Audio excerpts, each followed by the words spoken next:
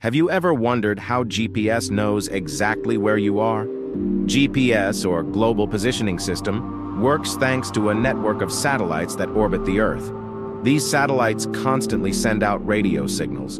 Your GPS device, like a smartphone, receives these signals from at least four different satellites. Each signal contains information about the exact time it was sent and the satellite's position at that moment.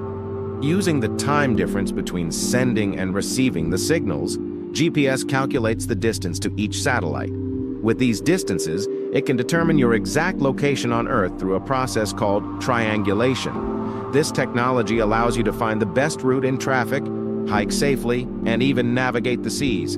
All of this happens in a matter of seconds. Now that you know how GPS works, you can use this incredible technology with even more appreciation. Keep following us for more fascinating curiosities.